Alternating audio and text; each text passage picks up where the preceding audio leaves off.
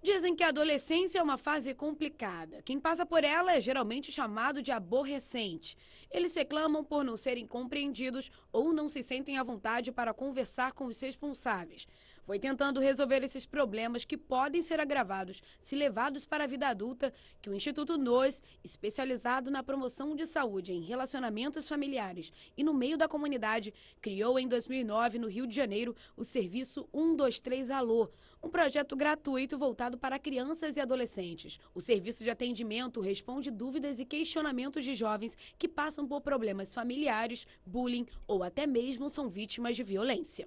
É um canal de escuta para crianças e adolescentes, para que crianças e adolescentes e jovens possam acessar gratuitamente né, e, e, falar dos assuntos que são importantes para eles, sejam eles quais forem, né, quais os assuntos que forem. O programa mais procurado por adolescentes entre 13 e 17 anos já recebe cerca de 300 ligações por mês e, devido ao sucesso, agora conta também com atendimento via chat, o que permite que adolescentes de outros estados também possam ter acesso ao serviço algumas crianças e adolescentes e mesmo jovens, eles, eles gostam mais de é, teclar e eles se sentem mais à vontade com chat. Outros já se sentem mais à vontade por telefone. A recepção foi tão boa entre eles que surgiram as rodas de conversa, quando o grupo do 123 Alô visita escolas e promove debates entre as crianças, ouvindo suas perguntas e recebendo sugestões.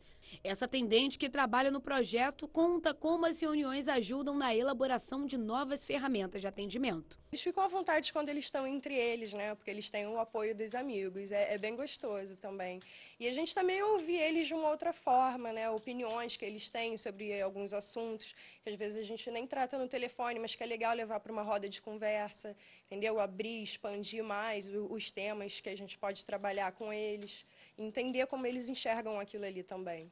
Hoje também existe o Comitê de Participação Infanto-Juvenil, um grupo formado por 15 jovens e adolescentes que se encontram frequentemente para opinar sobre o desenvolvimento do serviço e discutir temas que surgem no dia a dia.